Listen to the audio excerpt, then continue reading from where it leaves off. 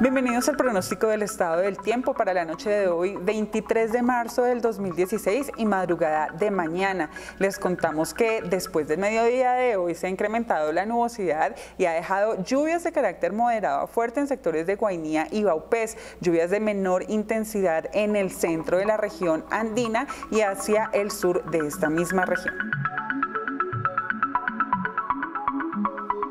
El pronóstico para la ciudad de Bogotá y la Sabana nos indica que en horas de la noche prevalecerán las condiciones de cielo entre parcialmente cubierto y cubierto.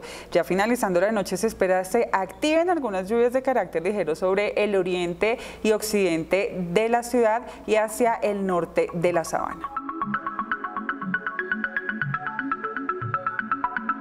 Pronóstico a nivel nacional nos indica que para San Andrés y Providencia prevalecerán las condiciones de cielo parcialmente cubierto y predominará el tiempo seco, al igual que a lo largo de la región Caribe. Lo que se espera para la región Pacífica es que empiecen a activarse las lluvias entre ligeras y moderadas, incluso en el centro de la región con actividad eléctrica. Para la región andina se espera hacia el sur del departamento de Antioquia y sectores del occidente lluvias de carácter ligero, al igual que en Boyacá, el eje cafetero, Tolima, Huila y sectores de Nariño. Lluvia de mayor intensidad hacia el norte de Cundinamarca y sur del norte de Santander.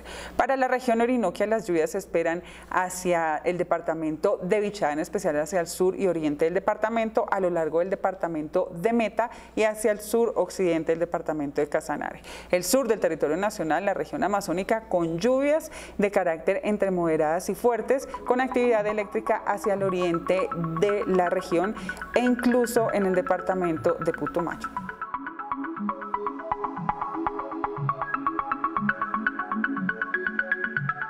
Las alertas que continúan vigentes hasta el momento son las siguientes. En alerta roja por amenaza alta incendios en las regiones Andina, Caribe y Orinoquia, por niveles bajos en los ríos Magdalena y Cauca, por deslizamientos de tierra en el departamento de Cauca, por viento y oleaje en el mar Caribe. En alerta naranja por amenaza moderada de deslizamientos de tierra en las regiones Amazonia, Orinoquia, Andina y Pacífica.